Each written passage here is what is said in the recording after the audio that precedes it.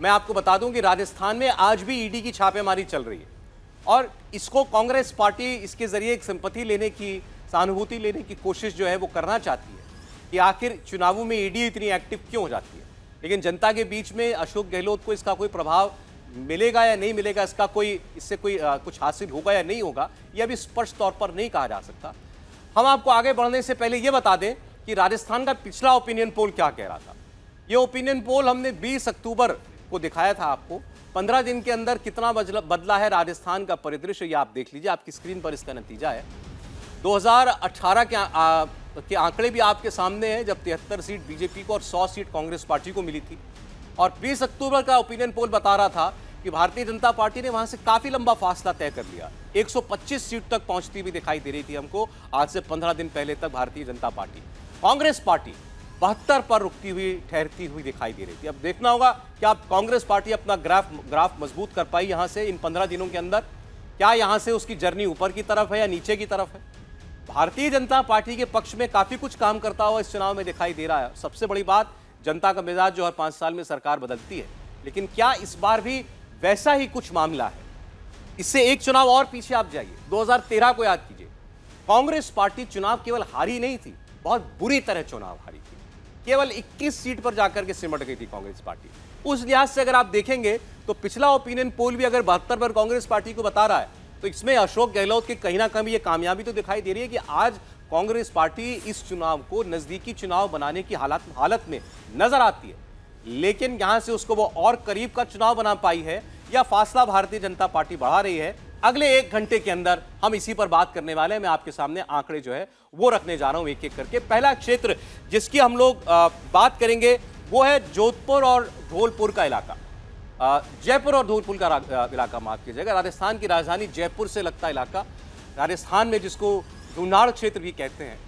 जयपुर और धौलपुर के इस रीजन के बड़े शहर मिलाकर के 48 सीटें राजस्थान की विधानसभा में बनाते हैं। और जयपुर ग्रामीण, जयपुर अलवर, भरतपुर, करौली, धौलपुर और दौसा। ये लोकसभा सीटें हैं जिनसे मिलकर के एक क्षेत्र बनता है। ये राज्यवर्धन राठौड़ का इलाका है। बीजेपी के सांसद बालकनाथ भी यहीं से आते हैं, जिनके लिए योगी आदित्यनाथ ने प्रचार किया है। बालकनाथ के अलावा विश्वेंद्र सिंह, किरोड़ीलाल मीणा और कांग्रेस के राजेंद्र यादव इसी क्षेत्र के नेता हैं। सचिन पायलट के लिए भी ये क्षेत्र बहुत महत्वपूर्ण है। यहाँ के दौसा से सचिन पायलट भी चुनाव लड़ते रहे हैं। बीजेपी की सांसद दिया कुमारी जयपुर राजघराने से आती हैं। अब ये जयपुर धौलपुर का इलाका किसे जिता रहा है? आइए, राजस्थान के पहले हिस्से का, पहले क्षेत्र का ओपिनियन पोल आपके सामने हम रखते हैं। फिर बता दूँ फाइनल ओपिनियन पोल है वोट पड़ने से पहले। इन 48 सीटों में आप देखिएगा, भारतीय जनता पार्टी बढ़त बनाती हुई दिखती है। 26 सीटें इस इलाके में बीजेपी जीत सकती है और 2018 की तुलना में ये 18 सीटें ज़्यादा होगा। यानी पिछली बार केवल 8 सीटें बीजेपी यहाँ पर जीती थी। अब वो 28 26 तक पहुँच गई है।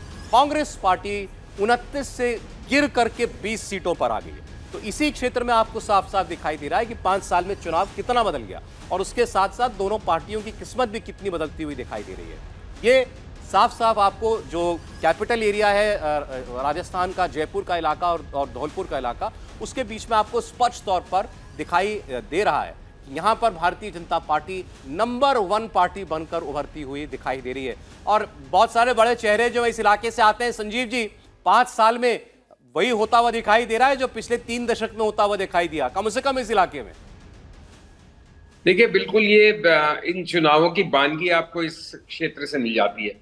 आप जिसको दुंडौर रीजन कह रहे हैं, जिसमें जयपुर से लेकर धौलपुर तक की सीट है उसके अंदर से अगर हम जयपुर डिस्ट्रिक्ट की सीट हटा दें और सिर्फ़ पूर्वी राजस्थान जो बचा हुआ, सवाई, माधोपुर, करौली, अलवर, भरतपुर, ये क्षेत्र रखें तो वहाँ पे 36 सीट्स होती हैं। और 36 में से सिर्फ़ चार कांग्रेस हारी थी 32 सीट्स वो जीते थे। अब वहाँ वो 32 सीट रिपीट करने की कोई गुंजाइश नहीं है, क्योंकि क्या है कि इस इस पूरे एरिया में गुजर वोट का बहुत महत्व है और पिछले इलेक्शन में कुछ लोकल कारणों की वजह से और ऑफ़ कोर्स पायलट के प्रभाव की वजह से गुजर और मीना जो दो डोमिनेंट कास्ट हैं इस एरिया के, उन्होंने मिलके वोट डाला था। अब की बार वो वोट बिखर गया है। गुजर स्पष्ट तौर पे कह रहा है कि अगर सचिन पायलट खुद आके हाथ जोड़ के भी हमें कहें कि भाई कांग्रेस को वोट दो तो हम नहीं देंगे। हम उनको कह देंगे, जब कांग्रेस पार्टी आपकी नहीं सुनती तो हम आपकी क्यों सुने? ऐसे खूब सारे वीडियो चल रहे हैं सोशल मीडिया पे, स्थानीय स्तर पे। जैसे फॉर एग्ज़ाम्पल आप यही सवाई माधोपुर बेल्ट की सीट है, शायद करौली है, जहाँ से दर्शन सिंह गुजर कांग्रेस के कैंडिडेट होने वाले थे। उनको टिकट नहीं मिला, वो बीजेपी में चले गए। तो काफ़ी अदला बदली हो रही है और इस इलाके में ईस्टर्न राजस्थान में पिछड़ने की वजह से और जयपुर डिस्ट्रिक्ट में पिछड़ने की वजह से कांग्रेस एकदम से बैकफुट पे आ जाती है। क्योंकि जो उसकी पूरी सियासी गणित थी 2018 की वो बहुत कुछ 80 फ़ीसद इस क्षेत्र पे केंद्रित थी और यहाँ पे वो पिछड़ती हुई दिख रही है। तो जैसे जैसे आपका सर्वे खुलेगा एक दो चीज़ों पे मेरा शायद आपके पिछले ओपिनियन पोल से कुछ भिन्न मत है। जिसको मैं नहीं ठीक है सर आगे उस पर हम लोग बात करते हैं। लेकिन आपने कहा कि ये बहुत क्रूशल एरिया है। कांग्रेस पार्टी के लिए और यहाँ पर पिछड़ती हुई कांग्रेस पार्टी तो उसके लिए खराब संकेत है ये। हमारे साथ दोनों मेहमान बीजेपी कांग्रेस और कांग्रेस से जुड़ चुके हैं। राखी राठौड़ जी भारतीय जनता पार्टी की राष्ट्रीय प्रवक्ता हमारे साथ है। राखी जी स्वागत है आका आपका स्वर्णिम चतुर्वेदी जी हमारे साथ कांग्रेस पार्टी से जुड़ रहे हैं। चतुर्वेदी जी आपका बहुत स्वागत है। मैं आपके सामने आ, साथ साथ कोटा टोंक का भी 24 सीटों का सर्वे रख दूँ फिर आप लोगों के पास में आता हूँ। 24 सीटें कोटा टोंक के रीजन में यहाँ का सर्वे भी आप देख लीजिए। यहाँ की जो लोकसभा की तीन सीटें हैं वो है टोंक सवाई माधोपुर कोटा और झालावाड़ बारा टोंक सचिन पायलट का इलाका अपना है, लेकिन सचिन पायलट के बारे में और लोग लोग खासतौर पर गुर्जर समुदाय के लोग क्या मन बना रहे हैं, वो आप आपने संजीव जी के ओपिनियन में जान लिया। सचिन पायलट टोंक के विधायक हैं, इस बार भी टोंक से ही चुनाव लड़ रहे हैं। झालावाड़ की झालार पाटन सीट से वसुंधरा राजे चुनाव लड़ती आ रही हैं, इस बार भी चुनाव लड़ रही हैं। अब जरा सर्वे के नतीजों पर हम निगाह डाल लेते हैं। ये 24 सीटें क्या बताती हैं, सर्वे क्या दिखा रहा है? भारतीय जनता पार्टी यहाँ पर तेरह सीटें जीत सकती है और ये 2018 की तुलना में दो सीटें ज़्यादा है। बीजेपी अपने प्रदर्शन को बेहतर कर रही है। कांग्रेस पार्टी यहाँ पर 11 सीटें जीतती दिखाई देती है। ये एक सीट का नुकसान है और एक और सीट जो कम हो रही है, वो अन्य के खाते से कम हो रही है। अन्य की टैली से कम होती भी दिखाई दे रही है। तो यहाँ भी आपको दिखता है, जैसा जयपुर, धौलपुर के रीजन में आपको दिखा था, बीजेपी बेहतर करती है पिछले चुनाव की परिस्थिति में उसकी तुलना में ऐसा ही साफ़ साफ़ आपको दिखाई दे रहा है कोटा टोंक के रीजन में भी। तो पहले मेरा आ, मैं पहले कमेंट लेना चाहूँगा राखी राठौर जी का। राखी जी जयपुर धौलपुर टोंक इसके अलावा कोटा इन इन इलाकों के अंदर आपकी पार्टी सर्वे ये बता रहा है बेहतर कर रही है अठारह से काफ़ी अच्छा कर रही है कांग्रेस पार्टी का ग्राफ नीचे जा रहा है। देखिए सौरभ जी जैसे जैसे आगे बढ़ेंगे और ओपिनियन पोल आपके आगे बढ़ेंगे आप देखेंगे हर रीजन के अंदर भारतीय जनता पार्टी बेटर करेगी। उसका एक कारण है। उसका कारण ये है कि पिछले पाँच सालों में जिस तरह से कांग्रेस पार्टी दो धड़ों में बटी हुई थी आधी कांग्रेस पार्टी जो है कुर्सी खींचने के लिए आधी कुर्सी बचाने के लिए जो काम कर रही थी उसका जो प्रॉब्लम हुआ जिसकी वजह से जनता को जो प्रॉब्लम्स हुए उसकी वजह उस, वो मेजर कारण है जिसकी वजह से राजस्थान में इस तरह के ओपिनियन पोल आ रहे हैं। आपने देखा कि पिछले पाँच सालों में जिस तरह से भ्रष्टाचार और भ्रष्टाचार भी कौन से लेवल पर? पानी पिलाने जैसे विभाग के अंदर हम देख रहे हैं, दो तीन दिन से ईडी जो है। और इनफैक्ट पहले भी, दो ढाई महीने भी, पहले भी एक्शन हुआ था। और राजस्थान से बेहतर कौन समझता है इस बात को कि पानी की वैल्यू क्या है? लेकिन ऐसे विभाग में भी घोटाला, जब तीस हज़ार करोड़ सेंट्रल गवर्नमेंट से आते हैं तो बीस हज़ार करोड़ का घोटाला हो जाता है। पेपर लीक का मामला बहुत बड़ा मामला है। युवाओं ने पूरे तौर पर कांग्रेस पार्टी को नकार दिया है, क्योंकि जिस तरह से पेपर लीक मामले में जो कांग्रेस पार्टी के लीडर्स हैं, उनका इन्वॉल्वमेंट है, वो बहुत ही गंभीर विषय है। और जिस तरह से भ्रष्टाचार हमने हर लेवल पर देखा तो वो बहुत ज़रूरी चीज़ है जिसकी वजह से राजस्थान के जो लोग हैं वो एक्सेप्ट नहीं करेंगे किसी भी हालत में कांग्रेस पार्टी को। क्योंकि देखिए मुख्यमंत्री जी पहली बार तो मुख्यमंत्री है नहीं। इन्होंने पहले भी दो बार जो है राजस्थान में मुख्यमंत्री पद को संभाला है लेकिन इनके कार्यकाल के बाद 2003 में छप्पन पे 2013 में 21 सीटों पर आकर के कांग्रेस पार्टी निपटी थी यानी साफ़ दिखाता है गवर्नेंस में प्रॉब्लम है और वो गवर्नेंस आपको अभी भी नज़र आएगी। जैसे ही रिजल्ट्स आएँगे तीन तारीख को। देखिए, आपने भी ज़िक्र किया भ्रष्टाचार के मामलों का ईडी का। अब ये चुनावों का मौसम ज़्यादा है या रेड का मौसम ज़्यादा है, पता नहीं लग रहा है हमको चतुर्वेदी जी। लेकिन देखिए, फ़िलहाल बीजेपी तो इसको भुनाने की कोशिश करेगी। कोशिश आप लोग भी कर रहे हैं सिंपति की गेन करने की, ये बताने की कि भाई देखिए केंद्र के हाथ में जो है एक एक औज़ार लग गया है, केंद्रीय एजेंसियों के तौर पर तो वो उसका इस्तेमाल कर रही है। छत्तीसगढ़ में आ, हमने दिखाया अभी आप लोग जुड़े उससे पहले कि कांग्रेस पार्टी बहुत अच्छा कर रही है सरकार भी बनाती हुई दिख रही है राजस्थान में लेकिन अभी तक जो हमने तीन क्षेत्रों की बात की है पिछड़ती दिखती है। देखिए मेरी आवाज़ आ रही है आप तक? जी हाँ आ रही। हाँ देखिए राजस्थान में एक ही मुद्दा है। वो मुद्दा यह है कि एक तो केंद्र सरकार जो महँगाई और बेरोजगारी का बोझ डालती है और एक अशोक गहलोत सरकार है जो महँगाई से राहत देती है और बेरोजगारी के खिलाफ मिनिमम इनकम की गारंटी देती है। दूसरी चीज़, आपने ईस्टर्न राजस्थान के नाल ये ईस्टर्न राजस्थान के एरिया का हमें सर्वे दिखाया है। यहाँ पे सबसे बड़ा मुद्दा है ईस्टर्न राजस्थान कैनाल प्रोजेक्ट जिसको नेशनल प्रोजेक्ट बनाने का वादा प्रधानमंत्री श्री नरेंद्र मोदी जी ने जनसभा में, चुनाव में वोट मांगते हुए राजस्थान की जनता से किया था। और यहाँ पे पानी की जो समस्या है, उसको लेकर के बहुत लंबा और बड़ा आंदोलन यहाँ पे चला, क्योंकि इकतालीस परसेंट पॉपुलेशन आती है इस एरिया में, और करीब बयासी सीटें आती हैं। इन सीटों पर भारतीय जनता पार्टी के खिलाफ लगातार आक्रोशित होकर के आम जनता, मैं फिर दोहरा रहा हूँ, आम जनता आंदोलन कर रही है। और सबसे बड़ी बात यह है कि मेरे को नहीं पता आपका सर्वे, लेकिन मेरा सर्वे और हमारा जो साइंटिफिक सर्वे हमने करवाया, वो ये बताता है कि यहाँ पे भारतीय जनता पार्टी का सुपड़ा साफ़ होने वाला है। भारतीय जनता पार्टी का कोई बड़ा नेता आज राजस्थान के इस इलाके में प्रचार करने के लिए तैयार नहीं है। कोई जाने के लिए तैयार नहीं है। यहाँ पे जब जब गए इनकी जनसभाओं से लेकर के यात्राओं तक में अभाव रहा जनता का और हमारी जो रैली और मीटिंग्स और सारी जो सभाएँ हुई वो ज़बरदस्त भीड़ के साथ हमने देखा। आपका हो सकता है सर्वे मैं सम्मान करता हूँ लेकिन माफ़ कीजिएगा हम फिर तीन तारीख के पश्चात जब काउंटिंग हो जाएगी तब बैठेंगे तभी आप भारतीय जनता पार्टी और सबको हारते हुए हम यहाँ इसी रीजन में हम दिखाएँगे जैसे पहले हारे उसी तरह बुरी तरह हारेंगे क्योंकि आज अभी तो देखिए छोड़ चुकी है। दूसरे कारण में चतुर्वेदी जी मैंने केवल बहत्तर सीट का सर्वे रखा आप कह रहे हैं कि आप सम्मान करते हैं। हो सकता है जब मैं तो, जब तक सर्वे खत्म करें आपका सम्मान और बढ़ जाए।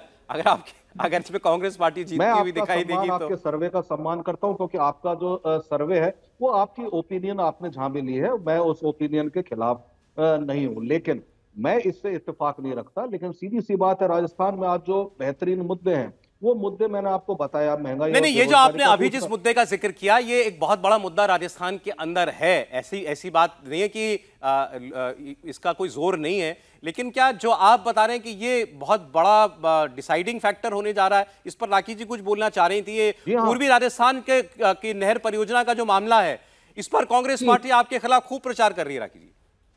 देखिए, सौरभ जी, दो बातें मुख्य तौर पर अभी स्वर्णिम जी ने कही। सबसे पहले महँगाई की बात की। सौरभ जी, मैं याद दिलाना चाहूँगी, जून के महीने में इन्होंने एक महँगाई राहत कैंप चलाया। और उसके बाद आप हर महीने का डेटा देख लीजिए जो नेशनल एवरेज है उससे दो परसेंट ज़्यादा राजस्थान में महँगाई होती है। पिछले महीने का मैं रिकॉर्ड बताऊँ तो नेशनल एवरेज जो है वो 5.02 परसेंट था। तो राजस्थान का 6.53 परसेंट आ रहा है। यानी महँगाई राहत कैंप लगाने के बावजूद भी अगर पूरे देश में सबसे ज़्यादा महँगाई है तो वो राजस्थान में क्योंकि यहाँ महँगा पेट्रोल महँगा डीजल और महँगी बिजली है। तो इसीलिए महँगाई की कितनी भी क्लेम करें लेकिन अल्टीमेटली धरातल पे वो इंप्लीमेंट नहीं हो पाया। जो राहत आप देना चाहते थे वो हुई नहीं। जहाँ तक ईआरसीपी की बात कर रहे थे एक भ्रम की स्थिति लगातार कांग्रेस ने ये फैलाई कि प्रधानमंत्री जी ने अजमेर में और जयपुर के अंदर वादा किया था। उन्होंने साफ़ साफ़ ये कहा था कि टेक्निकल तौर पे इसकी जाँच करा के हम हम इस बात का प्रयास करेंगे सकारात्मक रुख अपनाते हुए ईआरसीटी को नेशनल जो है प्रोजेक्ट अनाउंस करेंगे। लेकिन मैंने आपको फिर जल जीवन मिशन की बात बताई। पानी पानी की बात करते हैं। पानी के लिए कितनी गंभीर है सरकार ये दिखाता है कि तीस हज़ार करोड़ रुपए जो सेंट्रल गवर्नमेंट से मिले राजस्थान को उसमें से बीस हज़ार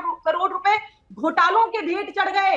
एक ऐसी सरकार जो कहती है कि हमें पानी नहीं पिलाया उसने जब पैसा आया तो उसको भी भ्रष्टाचार के भेंट चढ़ा दिया। आप किस मुँह से पानी की बात करते हैं राजस्थान के लिए? क्योंकि घोटाले घोटालेबाज सरकार है इन्होंने सिर्फ़ और सिर्फ़ घोटाले किए अच्छा चलिए ठीक है आप इतना घोटालों का घोटालों की बात कर रही हैं। रेड्स की बात हो रही है। लोगों के बीच में सवाल हम लेकर के गए थे कि भाई ये जो छापे पड़ रहे हैं, इसका क्या मकसद आपको लगता है?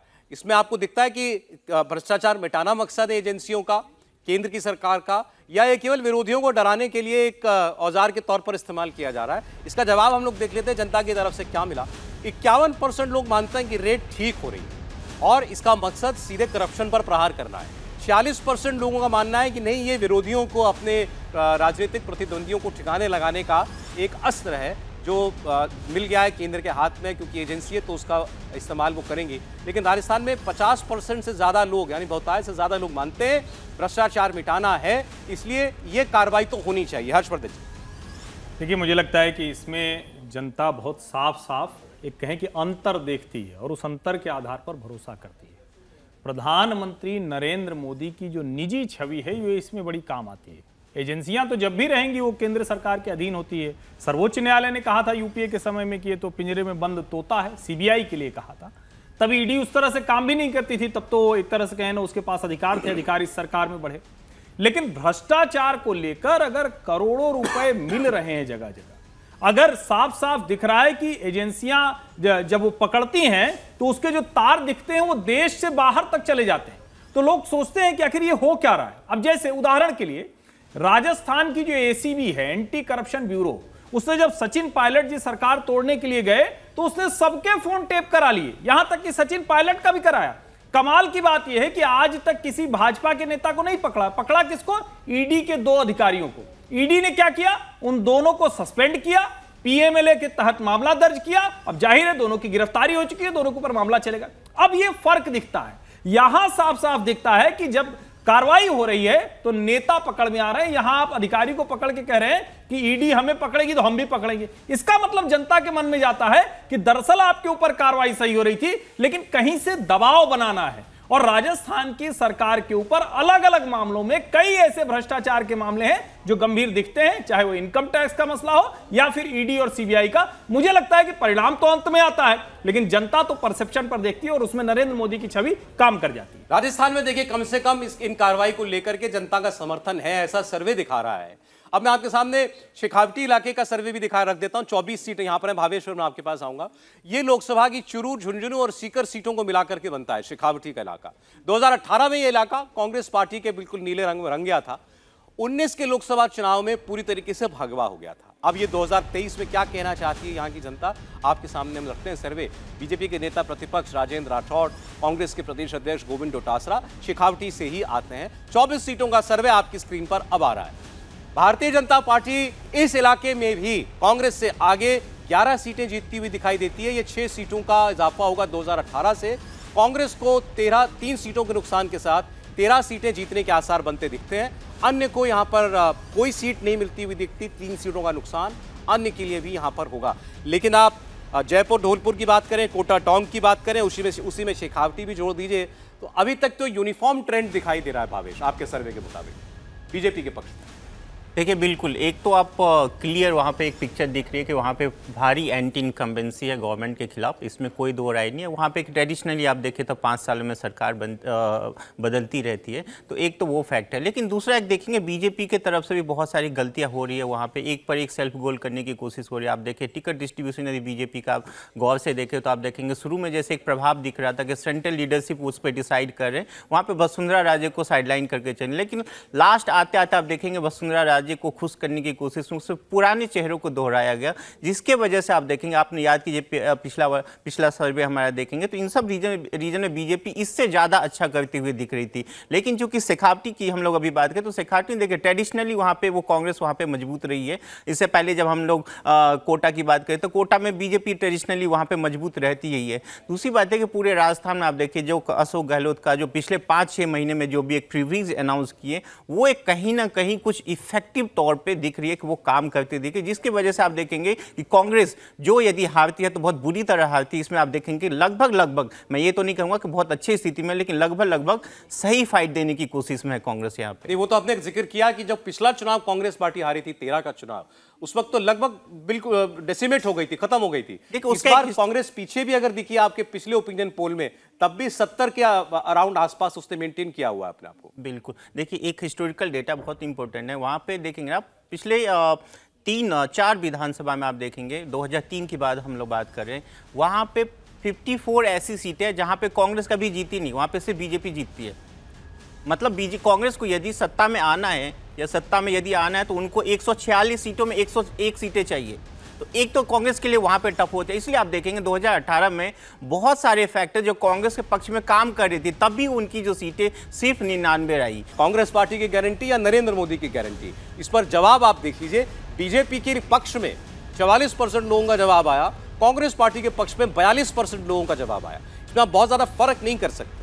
नरेंद्र मोदी हैं तो ज़ाहिर है भारतीय जनता पार्टी के पास एक बहुत बड़ा चेहरा है, लेकिन कांग्रेस पार्टी की गारंटी पर यकीन करने वाले भी लगभग उतने ही है। दूसरा, एक जो बड़ा फैक्टर कांग्रेस पार्टी के खिलाफ काम किया, वो था ये नोशन कि भाई अशोक गहलोत और सचिन पायलट के बीच में बहुत खटपट है। और ये बात सही है कि सचिन पायलट ने लगभग बगावत ही कर दी थी सरकार गिरते गिरते बची।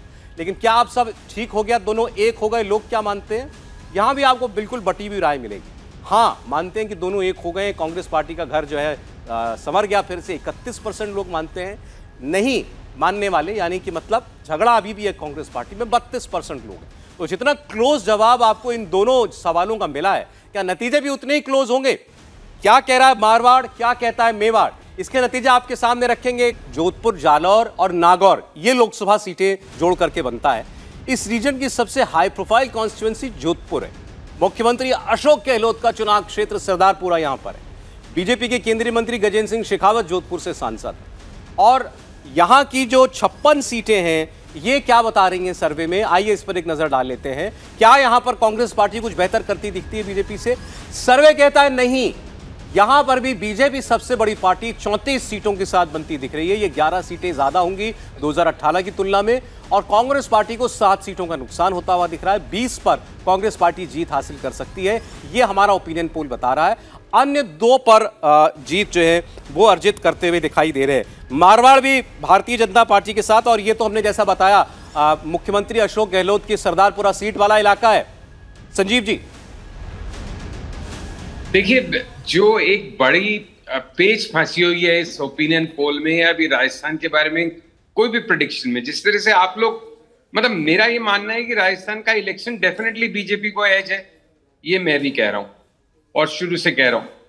बट राजस्थान में एक जो एक्स फैक्टर है आपने अन्य की संख्या बहुत कम कर दी ओपिनियन पोल में। और उसका कारण मैं भावेश की मजबूरी या दिक्कत समझ सकता हूँ क्योंकि अभी सीट्स डिक्लेयर नहीं हुई है। सात तारीख लास्ट डेट है नामांकन का। उसके तीन दिन बाद तक फिर फॉर्म्स विड्रॉ हो सकते हैं। तो अब की बार, पिछली बार भी आप देखिए, अन्य की बड़ी महत्वपूर्ण भूमिका थी। अन्य में सोलह तो करीब निर्दलीय थे, फिर बीएसपी के थे, फिर जो एक हनुमान बेनीवाल की पार्टी है, वो है। तो ये सब जो फैक्टर्स प्ले आउट करेंगे, क्योंकि अब जितने बागी हो रहे हैं ना, उनको हनुमान बेनीवाल की पार्टी टिकट दे रही है। अब मेरे पास राखी जी तो बीजेपी से है मैं बताऊँ, जैसे यूनुस खान डीडवाना से मोस्ट प्रोबेबली एक बागी की तरह लड़ेगा, जो हमेशा जीतता रहा है, वसुंधरा जी का खास आदमी है। लेकिन ये लोग टिकट नहीं देंगे, उसको मुसलमान को नहीं देना है, उन्हें जो भी कारण है। कैलाश मेघवाल नब्बे साल के होने को आ रहे हैं फॉर्मर स्पीकर है, सबसे सीनियर विधायक हैं, लेकिन उन्होंने अर्जुन मेघवाल के खिलाफ बयान दे दिया था, उनको सस्पेंड कर दिया गया, उनको टिकट नहीं मिल रहा। वो आज शाहपुरा पहुँच गए हैं, भीलवाड़ा की जो उनकी रिज़र्व कॉन्स्टिट्युएंसी है अगर उन्होंने फॉर्म भरा सपोज़ जिसकी पूरे चांसेस हैं तो वो निश्चित रूप से वो चुनाव जीतेंगे। तो ये जो अन्य होंगे ये एक बड़ा फैक्टर बन के आ सकते हैं लेकिन आज की तारीख में हमें उसका आभास नहीं लग रहा है क्योंकि आज की तारीख में एक जनता बीजेपी कांग्रेस के बीच की बात कर रही है। जी हाँ।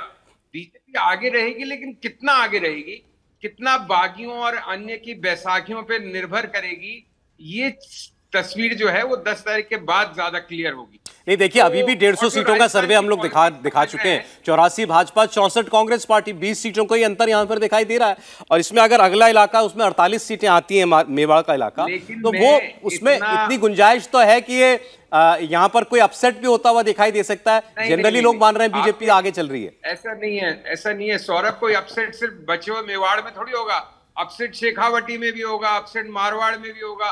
अपसेट डुनौर में भी होगा। क्योंकि यहाँ सब बागियों की संख्या अच्छी खासी हो रही है। रविंद्र सिंह भाटी को टिकट नहीं दिया है। बीजेपी शामिल करा दी। बहुत ही स्ट्रॉन्ग कद्दावर युवर नेता है। टिकट उसको दिया नहीं। बाकी सारे बीजेपी के लोग इकट्ठे हो गए कि इसको तो नहीं देना कि ये आ गया यंग लड़का तो हमारी तीस साल की राजनीति खराब हो जाएगी। तो ऐसे, और ऐसे कांग्रेस में भी कई उदाहरण है। कांग्रेस ने जैसे किशनगढ़ में बीजेपी छोड़े, विकास चौधरी को टिकट दे दिया। है वहाँ पिछली बार सुरेश टाक इंडिपेंडेंट जीता था। अब लोगों का कहना है कि विकास चौधरी जीते, तब भी कांग्रेस जीतेगी, सुरेश टाक जीतेगा, तब भी कांग्रेस, क्योंकि वो इंडिपेंडेंट तो वहाँ से जो चौधरी बीजेपी का कैंडिडेट है, उसकी स्थिति कमज़ोर है। देखिए, असल में इस तरह के शो में प्रॉब्लम ये भी हो जाती है कि जिसको कुछ ज़्यादा जानकारी होती है राजस्थान की, वो फिर एक ज़्यादा पेचीदगियों में घुस जाता है। नहीं अब आपने राजस्थान में बैठ के सर राजस्थान की जानकारी नहीं दी तो क्या बात है? लेकिन मैं चाहूँगा आप मुझे थोड़ी दिल्ली की भी जानकारी दे। ये जो ये जो अखबारों में खबर छपी संजीव जी जो अखबारों में खबर छपी कि अशोक गहलोत जो है उन लोगों को टिकट दिलाना चाहते हैं जो उनके वफादार रहे सचिन पायलट की बगावत की समय पर भी। राहुल गांधी और उनकी बहस हो गई और सोनिया गांधी जी को इंटरवीन करना पड़ा। आप यकीन करते हैं इस खबर पर? हाँ मैं यकीन करता हूँ। बिल्कुल यकीन करता हूँ, क्योंकि देखिए, राहुल गांधी और अशोक गहलोत में कभी नहीं बनी। राहुल गांधी पार्टी के अंदर एक जनरेशन चेंज चाहते हैं। अशोक गहलोत स्टेटस पोइस्ट है और सबसे मज़बूत नेता है राजस्थान के, सबसे पुराने, सबसे अनुभवी और आप जिस भी अंदाज में उसको लें, सबसे शातिर। तो जब सबसे जो शातिर जना है तो उसके सामने राहुल गांधी राहुल गांधी चाहते थे नए लोगों को चेहरा देना, लेकिन अशोक गहलोत के लिए ज़्यादा महत्वपूर्ण था किन लोगों ने मेरी सरकार बचाई, वो सारे रिपीट होने चाहिए। तो अब वो सारे रिपीट तो हो जाएँगे, लेकिन वो अगली सरकार ही नहीं बनेगी तो बचाएँगे क्या और बिगाड़ेंगे क्या?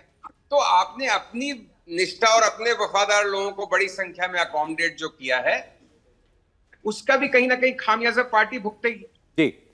चलिए अच्छा ठीक है। अब अब आपके, आपने भी कहा कि भाई ये सस्पेंस जो है ज़्यादा नहीं बरकरार करना चाहिए। मेवाड़ की सीटें में 48 सीटें रख रहा हूँ, आपके सामने राजस्थान का ओपिनियन पोल स्पष्ट कर देगा कि इसकी सरकार बन रही है इस बार। और क्या पिछले पंद्रह दिनों में हमारे ओपिनियन पोल में भी कोई अंतर देखा देखने को मिला है? अड़तालीस सीटों वाला मेवाड़, देखिए यहाँ पर राजसमंद, भीलवाड़ा, बांसवाड़ा, उदयपुर चित्तौड़गढ़ का इलाका आता है। जयपुर राजघराने की दिया कुमारी मेवाड़ से राजसमंद की सांसद हैं। और अब विधायकी के चुनाव में उतरी हुई है। गुलाब चंद कटारिया इसी मेवाड़ से आते हैं। कांग्रेस के पूर्व मंत्री रघु शर्मा यहाँ से आते हैं। इनके अलावा दो और लीडर, दो सीपी जोशी भी हैं यहाँ पर, एक बीजेपी के कांग्रेस के, दोनों यहीं से आते हैं। अब ये सर्वे क्या कह रहा है वो आप देख लीजिए। बीजेपी इस मेवाड़ के इलाके में भी 2018 की तुलना में भी बेहतर और कांग्रेस पार्टी की तुलना में तो दुगना बेहतर प्रदर्शन करती हुई हमें दिखाई दे रही है। 31 सीटों पर बीजेपी और कांग्रेस पार्टी 16 सीटों पर जीत हासिल मेवाड़ में कर सकते हैं। और इसके साथ ही पूरी 200 सीटों का सर्वे भी आपकी स्क्रीन पर आ गया है। आप देखिए सर्वे इंडिया टीवी और सीएनएक्स का ये बता रहा है राजस्थान में इस बार भारतीय जनता पार्टी की पूर्ण बहुमत की सरकार बनने की प्रबल संभावना है। सर्वे को लगता है सर, सर्वे में दिखता है कि सर ये सरकार बन रही है 115 सीटों के साथ 80 सीटों के साथ नज़दीक सही इस चुनाव में लेकिन पिछड़ रहे हैं अशोक गहलोत। लेकिन अगर आप फिर कहूँगा 2018 वाली हार कांग्रेस की याद करें तो वो 21 सीटें आई थी केवल। अभी ओपिनियन पोल कह रहा है कि गहलोत हारेंगे लेकिन 80 सीटों तक जा सकते हैं। अब ये उनके ऊपर है कि वो यहाँ से इस चुनाव में आगे कितनी रेस लगा सकते हैं, कितनी दौड़ लगा सकते हैं और क्या इसको और करीब ले जाएँगे भारतीय जनता पार्टी। या बीजेपी इस चुनाव में अपना गैप और बना लेती है आने वाले पंद्रह दिनों के अंदर। लेकिन हमारे ओपिनियन पोल में अगर आप अंतर देखें 20 अक्टूबर से चार नवंबर के बीच का वो ट्रेंड क्या है, उससे भी बहुत कुछ पता चलता है कि इस जो हवा बह रही है वो किस पक्ष में बह रही है। तो आप देखिए, उसमें स्पष्ट तौर पर दिखता है पहले ओपिनियन पोल में भारतीय जनता पार्टी को 125 सीटें मिलती हुई दिखाई दे रही थी। दूसरे ओपिनियन पोल में आते आते 10 सीटें कम हो गई। ये 115 हो गई। और कांग्रेस पार्टी को पहले ओपिनियन पोल में बहत्तर सीटें मिलती हुई दिख रही थी। वो बढ़ करके 80 हो गई। तो ये तो भावेश, आपके दो ओपिनियन पोल में काफ़ी अंतर दिखाई दे रहा है। कांग्रेस के लिए पॉजिटिव दिखाई दे रहा है। बिल्कुल। जैसे मैंने आपको पहले कहा था कि वहाँ पे एक जो टिकट डिस्ट्रीब्यूशन में जो प्रॉब्लम हुई है बीजेपी के साथ, शुरू में जैसे लग रहा था बीजेपी वहाँ पे एक गैलेक्सी ऑफ़ लीडरशिप के थ्रू से जाना चाहती है और वहाँ पे सबको खुश करके रखना चाहते और सबके साथ जाना चाहते हैं। लेकिन अब धीरे धीरे जैसे जैसे चुनाव आगे बढ़ रहा है, दिख रहा है कि बीजेपी वसुंधरा राजे को ज़्यादा प्रमोट करने की कोशिश देखिए, राजस्थान को आप यदि सही से समझेंगे 2018 में इससे पहले आप देखेंगे कभी अशोक गहलोत, कभी वसुंधरा इसी तरह के पॉलिटिक्स वहाँ पे दिखते गए। लेकिन 2018 में आप यदि गौर से देखें और जिस तरह हम लोग शुरू में ढूंढार वाली रीजन को देख रहे थे, उसमें आप देखें कि सचिन पहले के बहुत बड़ी फैक्टर थी, जिसकी वजह से कांग्रेस जीत के आई थी वहाँ पर लोग एक नई लीडरशिप चाहते थे। वही चीज़ें बीजेपी के साथ, यहाँ यहाँ बीजेपी के साथ लोग जुड़ना चाहते हैं। बीजेपी के साथ भी हैं। बीजेपी सबसे बड़ी पार्टी बन के भी उभर रही है। बीजेपी सत्ता में भी है। लेकिन कह रहे हैं ना सेल्फ गोल करते करते बीजेपी धीरे धीरे डाउनवर्ड के एक बात संजीव की संजीव जी की बातों का जरा रिप्लाई दी। उन्होंने कहा कि छोटी पार्टियों को हमने डाउन प्ले किया। नहीं, संजीव जी, ऐसा हमने नहीं किया है। यदि छोटी पार्टी जब भी दिखेगी, हम ज़रूर करेगी। जब तक ये फ़ील्ड वर्क हुआ है, इकतीस अक्टूबर, तब तक बीजेपी का भी सेवेंटी सीटों पर कैंडिडेट अनाउंस नहीं हुआ था। तो वो सारे जो फैक्टर है, आपकी बातों से मैं सहमत हूँ, लेकिन मैं डाउन प्ले नहीं करता जिस दिन आएगा, ज़रूर मैं दिखाऊँगा। एक बार जरा स्वर्णिम जी के पास चलते हैं। स्वर्णिम जी देखिए सर्वे में बीजेपी की सरकार बनती दिख रही है बात ठीक है लेकिन एक उम्मीद भी दिखाई दे रही है। पंद्रह दिनों के अंदर अंदर आपका ग्राफ काफ़ी बेहतर हुआ है। हमारे ही सर्वे में दिख रहा है। देखिए हमारा ग्राफ तो बेहतर ही था और बेहतर रहेगा। आप निश्चित रूप से देखिए जो आपने सर्वे दिखाया आ, मैं आपको बता रहा हूँ 130 से 50 सीट के बीच हम जीतेंगे। उसके कारण है भारतीय जनता पार्टी के बावन प्रत्याशी तो वो हैं जिनको इनके कार्यकर्ता ही कार्यकर्ता जो हैं ही एक्सेप्ट नहीं कर रहे, उनका ही समर्थन नहीं मिल रहा। जनता की तो बात छोड़िए, जनता को तो पता है, एक ही सवाल है यहाँ पे कि पाँच सौ रुपए में सिलेंडर अशोक गहलोत सरकार दे सकती है तो बीजेपी ने अब तक क्यों नहीं दिया? ओपीएस की बात है और सौ यूनिट बिजली की बात है, दो हज़ार यूनिट किसानों को बिजली फ्री की बात है, और सबसे बड़ी बात यह है कि यहाँ पे तीन लाख नौकरियाँ जो अशोक गहलोत सरकार ने दी, और भारत, पूर्ववर्ती भाजपा सरकार के शासन को भी सबने देखा। तो इन सब चीज़ों को लेकर के आज हमारे पास हम कॉन्फिडेंट है कॉन्फिडेंटली कह रहे हैं उन्हें सरकार बनाएँगे रिवाज बदलेगा लेकिन सरकार नहीं बदलेगी। और निश्चित रूप से आप देखिएगा आने वाले समय में अगर आप दोबारा सर्वे करवाएँ टिकट डिक्लेयर हो जाने दीजिए सात तारीख से हमारा कैंपेन स्टार्ट हो जाने दीजिए आप दस तारीख के बाद आप हमारी दिक्कत ये है स्वर्णिम का सर्वे कर तो सकते हैं लेकिन दिखा नहीं सकते। तो करने का फ़ायदा क्या चुनाव आयोग की रोक है इसके ऊपर? लेकिन राखी जी देखिए ये सर्वे आपके लिए अच्छी खबर है लेकिन एक चुनौती भी दिखा रहा है। कि आपको यहाँ जनता के बीच में अपना मैसेज अभी और मजबूती से ले जाने की ज़रूरत है, क्योंकि ग्राफ नीचे की तरफ़ है।